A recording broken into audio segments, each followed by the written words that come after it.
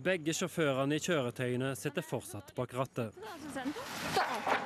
Det fikk jeg på. Det får du på video. Da fant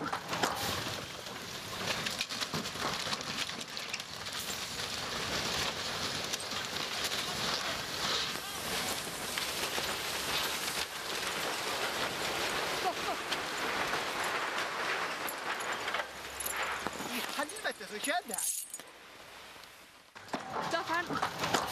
To sekunder før bilen dras over kanten og ned i skråningen.